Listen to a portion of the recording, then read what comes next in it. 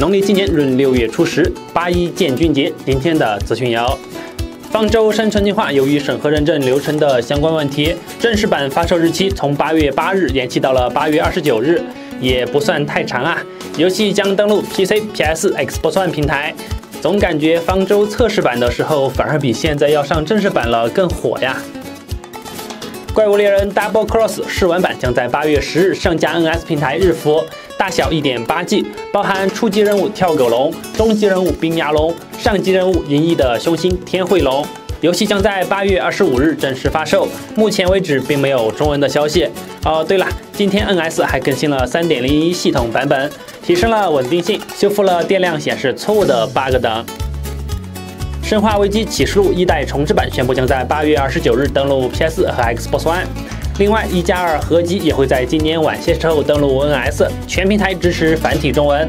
卡普空最近做了那么多，最后还是发现炒冷饭更赚钱呀。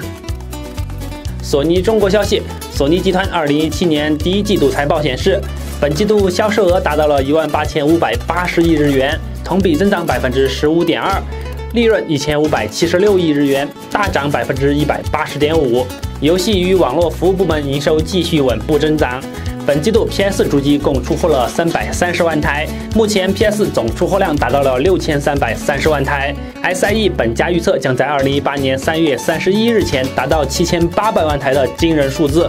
就目前趋势来看，如果以三上那几个二零一八年的三 A 大作能够在年初发售的话，还是很有机会的。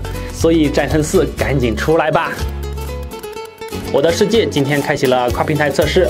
目前只支持 Win 十和安卓平台之间的跨平台联机测试，并新增了许多的新要素，将在近几日加入 Xbox One 主机版的测试。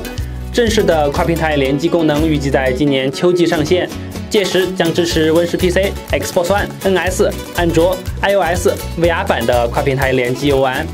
之前还提到过跨平台存档以及皮肤包 DLC 购买的问题，具体消息还需等待功能的正式上线。对了。之前索尼曾说过，PS 和 PSV 版的《我的世界》拒绝加入本次跨平台服务，但是麻将官方表示他们并没有放弃，也许 PS 版加入跨平台大家庭还留有一定的可能性。至于 PSV 版嘛，小编就不奶了。最后来看一下《牧场物语：希望之光》官方非本家版的实际录屏吧，游戏预计登陆 NS、PC、PS 平台。另外，今天还有《命运二》限定版 PS 手柄公布。法国亚马逊透露《战地》年度版发售日期。质量效应三：圣歌主设计师去世的消息。愿天堂也有游戏。